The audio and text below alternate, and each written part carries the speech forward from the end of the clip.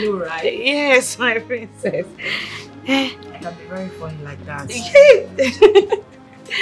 my princess, I was just thinking, how will your brother look like? I hope he's as cute as you are. Of course, he's very cute.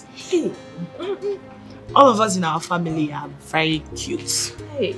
We don't have any ugly person in my family. So as for my brother, in one word, I would say he's dark and um, dark in complexion and very tall. Hmm. Can't wait to see him. Hey, of course, and um, you'll see him this weekend because he's coming this weekend. You're not happy to see him or something? No, I was just... I was just thinking, I was just surprised that he's coming back early. Now you know. That's why you're my girl. I'm giving you all the expose you need. So what are we saying? Get yourself ready.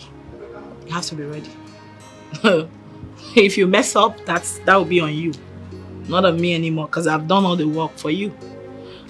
I have actually spoken to him about you and I sent in your pictures to him. And fortunately for you, I think he likes you. Thank you, my princess. Thank you so much, my princess. You, my girl, anything for you. I'm grateful. Thank you. You're welcome. You're welcome. So the ball is in your court now. Yes, my princess. Be a good player. A player, yeah. you know where you are? This is Nollywood Pictures TV.